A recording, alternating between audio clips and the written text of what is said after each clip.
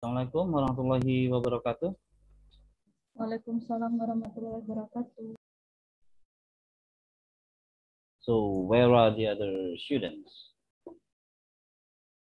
You are still contacting langsung. Gimana, gimana? Masih dihubungi. Oke, oke.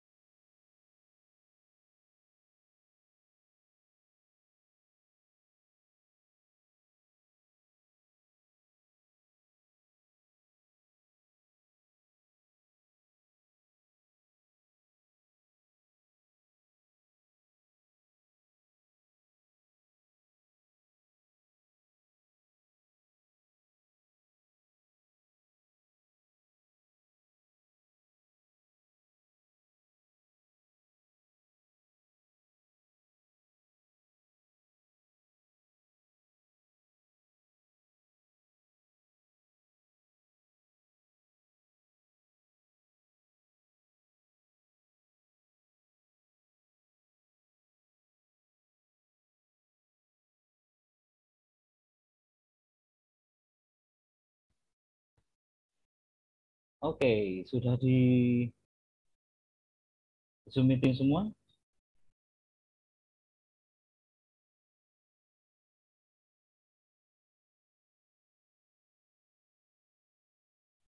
Apakah suara saya terdengar? Dengar, Pak.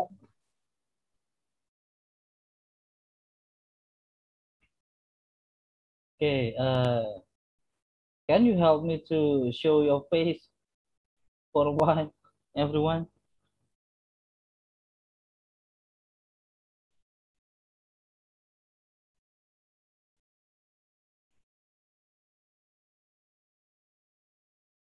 The other, please.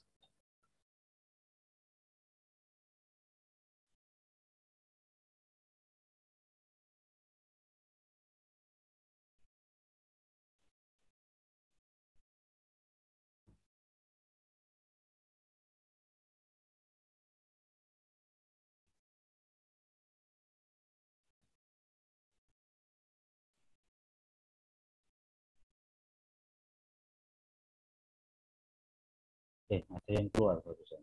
Masuk lagi. Okay. So, uh, we got uh, the results of your pre-test, yeah, some days ago. Uh, what do you think about your score?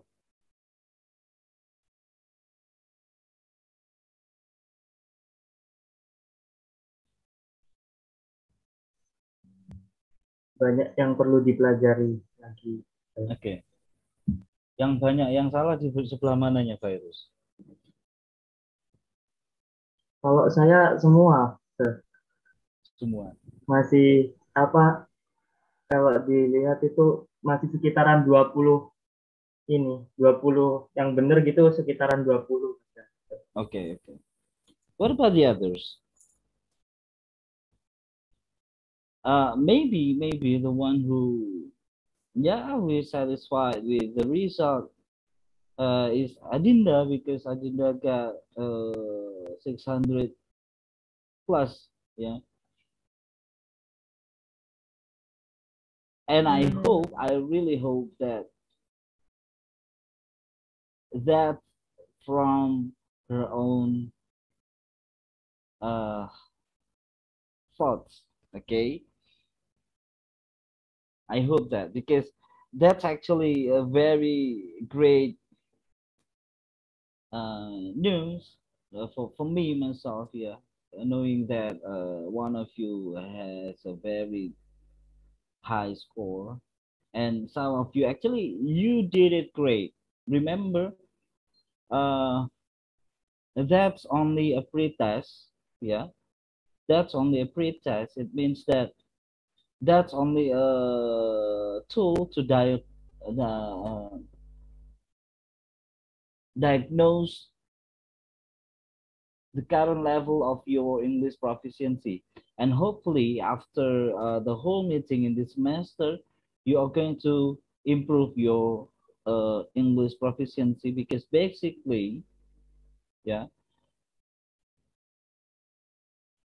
when we talk about standardized tests like TOEFL, IELTS, or so, um, we talk about the measurement of your English proficiency. I still believe that uh, your score reflects your proficiency.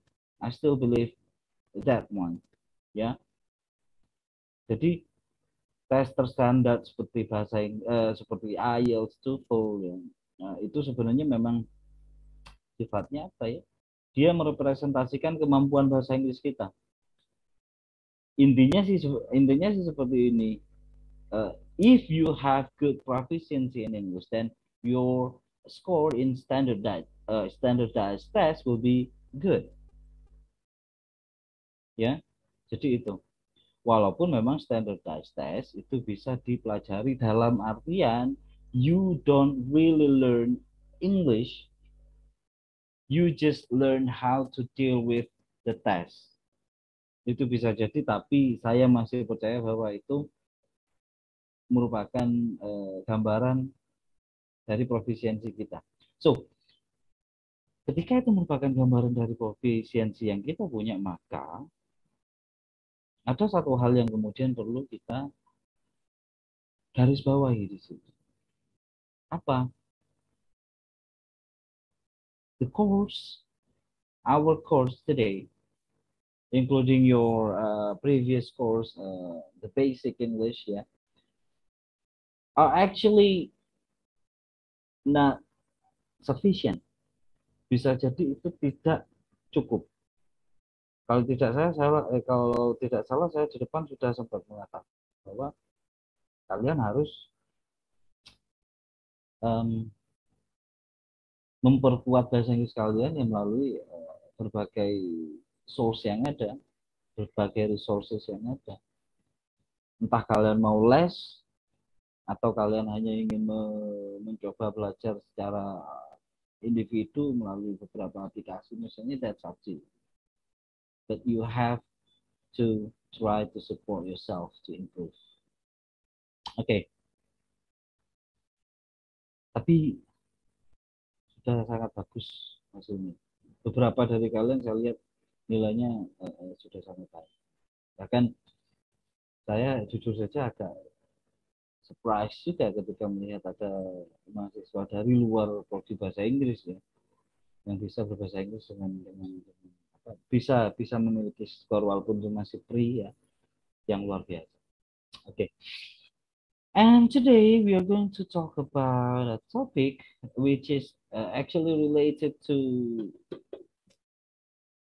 which is closely related to standardized test like TOEFL ya?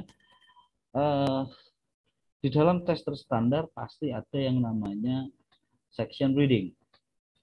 Saya melihat kalau untuk yang bahasa Inggris ya kalau untuk yang non bahasa Inggris saya tidak tahu apakah ada matematika dan lain-lain saya tidak tahu section sectionnya karena itu ada tes terstandar eh, terstandarnya tapi yang di yang ada di dalam bahasa Inggris entah itu IELTS, TOEFL itu selalu ada reading section ya dan di dalam mengerjakan teks di reading section, we clearly need some strategies.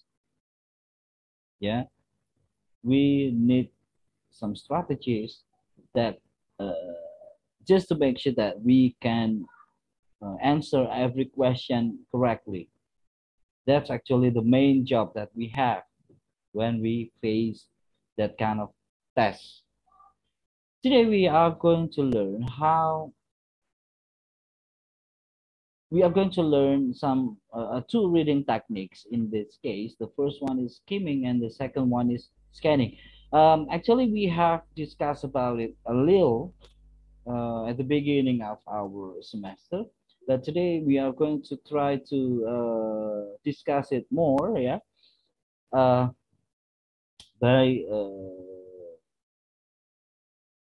sorry in in in this class so uh this is these are the reasons why you need to have such techniques. You have to apply some strategies in reading yeah? There are some reasons. The first one okay remember you are facing a test. So oh, so you are in the middle of a very constrained uh, task. You have a very limited time. So because you don't have enough time to read the text, especially word for word, it means that you need certain techniques just to make sure that you can understand the text and more importantly, you can answer the questions. Even don't do that don't read the text yeah word for word remember you are not reading for um, entertainment. You are not learning from that reading text. Your job is to answer the question based on the text you read. So don't read word for word. That's important. And about skimming and scanning, actually both techniques are similar. For some, uh, some people say that, yeah, but we use each of them differently. Now, we try to go to the first one, which is skimming. Okay, begini. Uh, ketika kita menghadapi satu reading text ya, so when we deal with a reading text, reading section dari sebuah test ya, maka kalau saya pribadi, saya tidak tahu untuk kalian. You, you can share with me. Uh, I'm going to read the text first, the whole text, but by using skimming technique, yeah. So I'm going to read it very fast. I don't care about some details inside it, yeah. I don't care about some difficult words inside the text.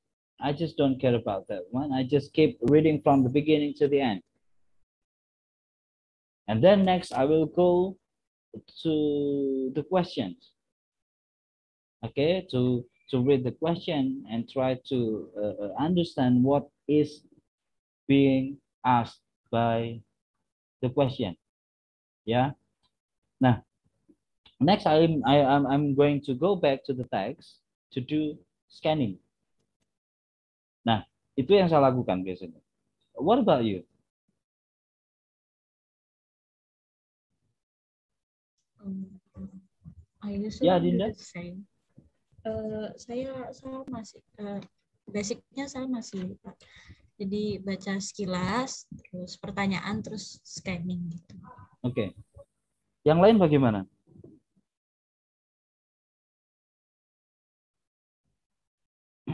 Yang lain bagaimana?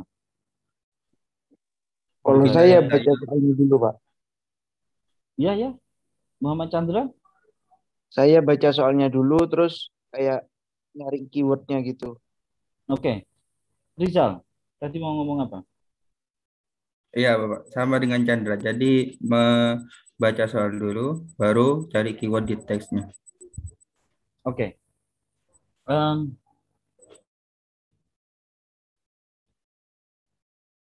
saya saya saya ini beberapa kali mengikuti tes ya.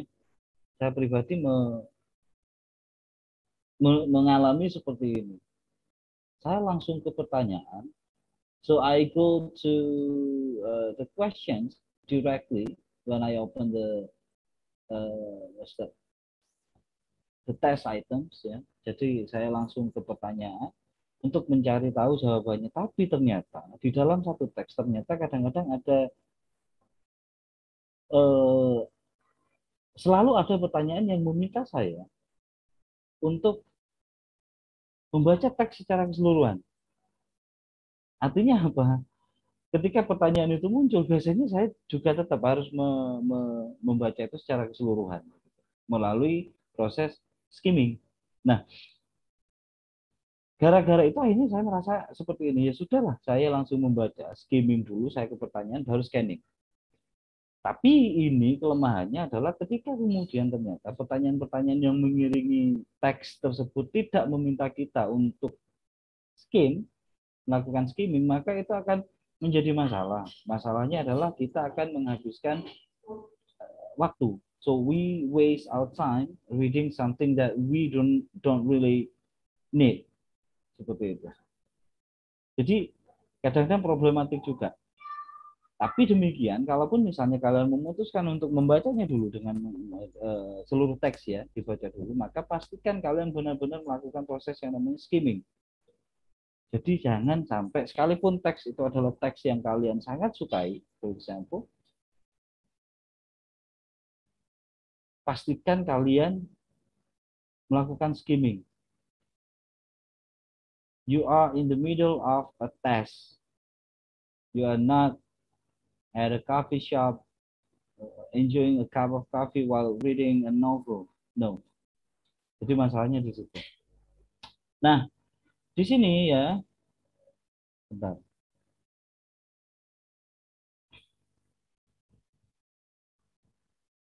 Skimming itu eh, tujuan utamanya adalah to get the gist of the text. Jadi kita ingin me- me- membaca untuk memberi- mem- mem- mendapatkan gambaran umum mengenai teks itu.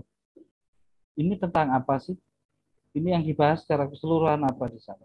Tapi we don't go to details. Tidak. Kita tidak terlalu detail untuk memahami itu. Nah, di sini skimming bisa berfungsi sebagai an overview of its content. It means that we are going to try to find the general idea of the text, the main ideas. Ya intinya hal-hal yang sifatnya umum mengenai teks itu. Ya, dan biasanya pertanyaan yang yang terkait dengan teknik ini ya yang meminta kita untuk melakukan teknik ini juga pertanyaan yang sifatnya umum gitu. Kita akan mencoba untuk latihan nanti. Now how to do the skimming? Okay, the first uh, you need to read the title first. Okay, it may sound ridiculous. Ya tentulah Pak saya selalu membaca title-nya. Tapi biasanya orang membaca title dari sebuah teks itu bukan jadi begini ya asal baca saja. Maksudnya gini, oh ada title dibaca gitu. Tapi tidak diniatkan untuk membaca dan memahami title-nya. Kan bisa jadi pendek title. Ya, bisa jadi pendek. Contoh sederhana. When I go back to this slide, ketika saya me- membuka slide ini, yang kalian pikirkan apa ketika kalian membaca judul PPT-nya? Kalian kan akan memberikan gambaran, akan mendapatkan gambaran bahwa uh, today we are going to talk about reading techniques, ya, in which we are going to discuss about skimming and scanning. Saya tidak akan membahas tentang gedang goreng misalnya di dalam kelas ini saat ini. Dari judul di awal kalian sudah memahami itu kan. Nah, sama. Kalau memang ada judulnya, karena beberapa teks tidak ada judulnya di dalam teks gitu. Ya. Next, you have to read the first paragraph very quick, quickly. Why? Because uh, first paragraph is usually an introductory paragraph. It means that uh, the paragraph is only functions as the gate to the content. Ya, walaupun first paragraph biasanya memiliki fungsi yang yang leb- yang besar juga yaitu untuk memberikan semacam gambaran mengenai ini teks bakal membahas tentang apa saja. Kita bisa melihat intention dari penulisnya apa di, di, di teks itu melalui paragraf pertama dan lain-lain. Tapi bisa kita lakukan very quickly, ya. Next, read and underline the first two lines of each paragraph. Kita biasanya ketika ingin memahami ide pokok dalam setiap paragraf, biasanya kita hanya dituntut untuk membaca para, eh, eh, baris pertama dan kedua saja di dalam setiap paragraf. Mengapa? It is simply because the topic sentence is usually written in the beginning of the paragraph. And it is there, the main idea. Ya. Nah, yang perlu saya ingatkan di sini adalah ketika kalian eh, tesnya paper based ya kalian ada paper kemudian kalian harus membaca di paper itu eh, jangan di underline juga gitu maksudnya jangan di underline dalam arti kalian coret-coret pasti dimarahi sama petugas ininya pengawasnya ya Next, uh, pay attention to the subheadings and subtitles if available. So only if uh, there are subtitles and subheadings, ya. Karena subheadings dan subtitles itu fungsinya sama seperti title yang ada di atas. Yang nomor satu. So they provide uh, information that you need to know uh, regarding some sections of the text. Kalau memang ada ya, kalau memang ada. And then read and underline the last two line, uh, the last two lines of each paragraph very quickly. Ini adalah begini. Jika ada teks yang terdiri dari dua paragraf atau lebih, biasanya dua baris terakhir di dalam paragraf itu akan menjadi jembatan ke atau menuju ke paragraf berikutnya. Dengan cara kita memberikan perhatian lebih ya di dua baris terakhir itu selain jadi gini, dua baris pertama dari paragraf itu dia memberikan gambaran tentang paragraf itu mengenai apa. Dua, dua garis eh, kedua, eh, sorry, dua garis terakhir di dalam paragraf itu memberikan kesempatan bagi kita untuk men, me, memahami apa yang kira-kira akan ditulis di paragraf berikutnya. Atau bisa jadi juga ini juga penting, the last two lines of each paragraph provide us with information regarding the writer's opinion, the writer's idea, the writer's uh, thoughts. Ya, seperti itu.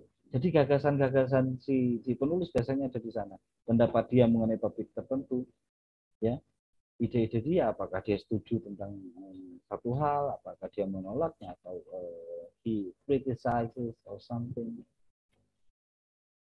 And then read the last paragraph of the text quickly. The last paragraph serves as uh, the closing paragraph, ya. Dan itu biasanya berisi kesimpulan, berisi saran dari penulis, dan lain-lain. And don't forget to underline keywords. Underline di sini tentu saja tidak secara harfiah kita underline, tapi kadang-kadang kita perlu uh, memperhatikan apakah ada kata-kata atau frase-frase yang perlu kita ingat. Misalnya ada teks tentang uh, satu penulis tertentu, maka namanya orang ini siapa? Karena bisa jadi ada dua atau lebih nama yang disebutkan di dalam teks. Nanti akan kita kita latihan di sini. Next we go to scanning technique ya. We use scanning technique after reading the questions. Jadi seperti yang saya sampaikan tadi, setelah kita membaca question, itu kita sudah memiliki gambaran. Oke, pertanyaan ini meminta saya untuk mencari informasi tentang A, tentang B, tentang C. Maka di saat kita scanning, maka hanya A, B, atau C tadi yang kita cari di dalam teks. Di luar itu kita tidak perlu hiraukan. Because you already know what you or what to search for. You have already known that through the questions. Dan caranya adalah yang pertama, always keep in mind what you search for. Jadi ketika kalian membaca satu pertanyaan, selalu diingat-ingat ini pertanyaan yang ditanyakan apa sih sebenarnya? Makanya salah satu tips paling fundamental ketika kita menghadapi satu tes standardized seperti TOEFL ataupun IELTS, kita harus benar-benar bisa fokus dari awal dari detik pertama tes itu dimulai sampai kita selesai mengerjakannya. Karena kalau kita tidak fokus bisa jadi kita harus berkali-kali membaca pertanyaan hanya gara-gara kita lupa. Ini pertanyaannya tentang apa ya mau ya. So what is the question? So what am I looking for right now? Ya kalau kalian tidak ingat pertanyaannya apa, yang mau dicari apa? Ya.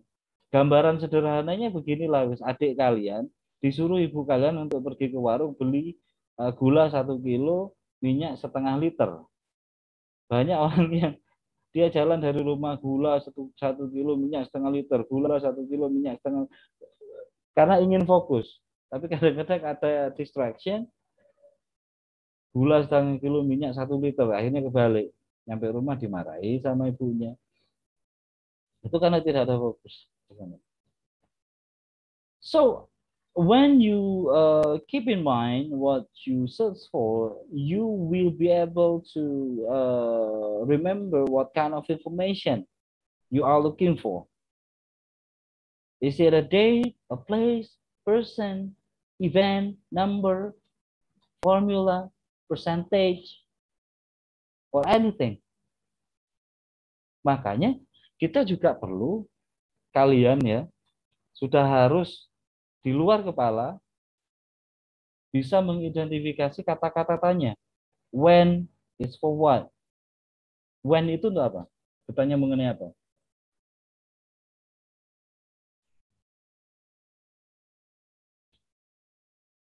When Itu bertanya tentang apa? Tanggal. Oke, salah satunya tanggal. Intinya when itu selalu untuk waktu. Where? Tempat. Tempat. What? Sesuatu. Oke. Why? Alasan. Oke, reasons. How many? eh, numbers. Jumlah. Oke, Ukuran. Bi- bisa jadi. How long? Durasi. Itu sudah harus di luar kepala. Ya. Kalau tidak ya kita akan kesulitan. Nah, setelah kalian eh, berhasil menemukan potensi jawaban di dalam teks, jadi ada bagian di dalam teks yang, oh, sepertinya ini nih jawabannya. Jadi kalian sudah ingat pertanyaannya tadi tentang apa, yang diminta oleh pertanyaan itu, kalian diminta untuk mencari apa, kemudian kalian cari di dalam teks itu, oke, dicari, di scan, dapat di satu titik, you need to read that part carefully in order to justify your answer. So make sure that you only spot the right or the correct part of the text, yeah, regarding the question you have over there. If not, then you will need to rescanning the text for that question. Jadi seperti itu. Jadi di scan dulu, baru kemudian oke di sini read it carefully and make sure that okay this one is the answer.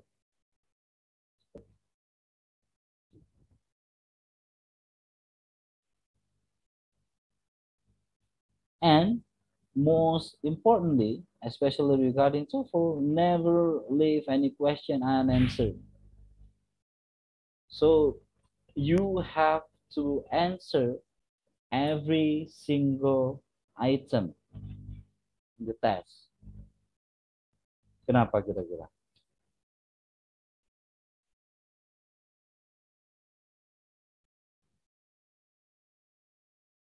Karena tidak ada poin penalti di dalam TOEFL. Jawaban salah dengan jawaban kosong nilainya sama. Lebih baik kalian isi So you have to make your best guess, yeah. You have to make your best guess. Siapa tahu benar jawabannya. Who knows? Ya kan? Siapa tahu benar gitu. Kalaupun salah ya nggak apa-apa, oh, memang nggak tahu. Siapa tahu benar. Intinya begitu kalau saya pribadi jujur ketika ada pertanyaan-pertanyaan yang saya tidak mungkin pahami ini tentang apa saya tidak mungkin mencari tahu jawabannya saya benar-benar tidak tahu benar-benar ini saya diamin sudah saya jawab ngawur kalau misalnya anu pak mencoba untuk cari jawaban dari temannya bagaimana pak? Nggak apa-apa. Cuman kalau ketahuan pengawas dan itu TOEFL yang benar-benar TOEFL ya didis kamu. Kalau didis ya sudah bayarnya mahal rugi waktu. Nggak dapat sertifikat. Karena belirak beliru gitu. maksudnya. Dan itu that's not a good idea. Oke ada pertanyaan mungkin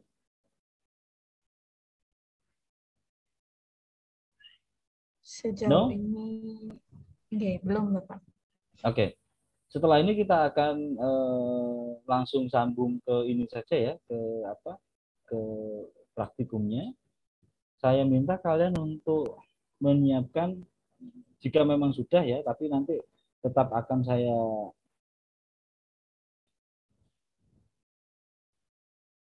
akan saya ini tampilkan di layar ya, sambil kita bahas nanti. Em, bentar.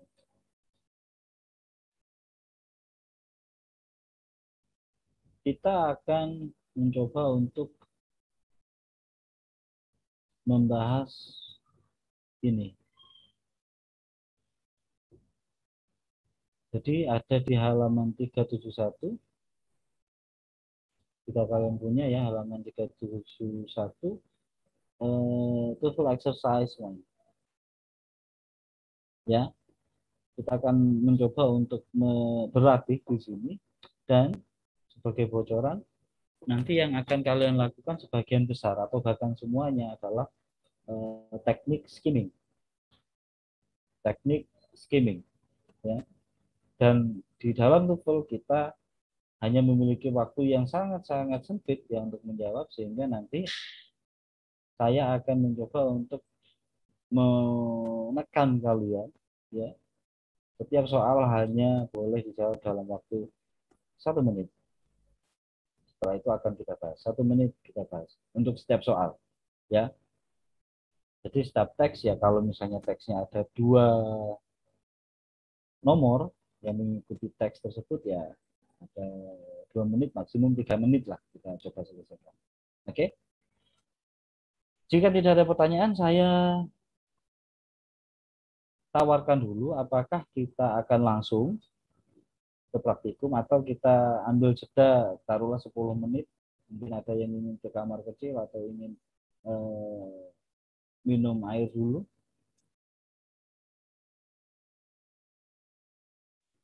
Jeda dulu Bapak. Oke, good.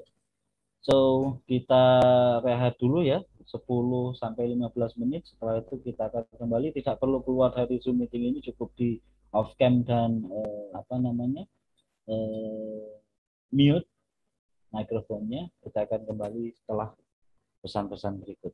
Oke.